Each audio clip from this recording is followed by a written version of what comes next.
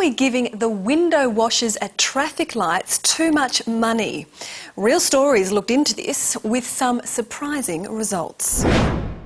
Means a lot. It's great. I'm a window washer. I've been doing it for eight years now. And yes, I've, I've earned enough to live off. Well, I s- suppose live comfortably. But how comfortably? Well, this might surprise you.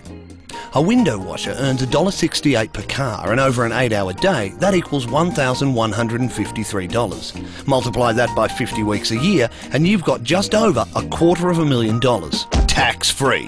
What a rip off. I don't think I'm cheating anyone out of a dollar. Window.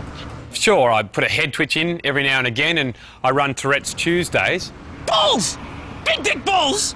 which turned out to be a great initiative. Cocks! Oh, five bucks. Thanks, mate. I don't know what the problem is. Me saying, Oh, I'm starving, give me some money or I'm going to die, is exactly the same as a car salesman saying, Would you like free air conditioning?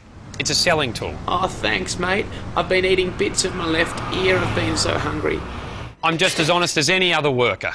I get up in the morning, I'll go for a swim, which is great, a bit of exercise, pick out what I'm going to wear that day, park my car a few blocks away from work, and I'm on my way. I'm not a scoundrel. I'm, I'm more of a hero, like Robin Hood. I take from the rich and I give to the poor. Well, I give to people that look poor. Mm. And that just happens to be me and my window washing mates in this case. How much money has I'll give you one for free made us?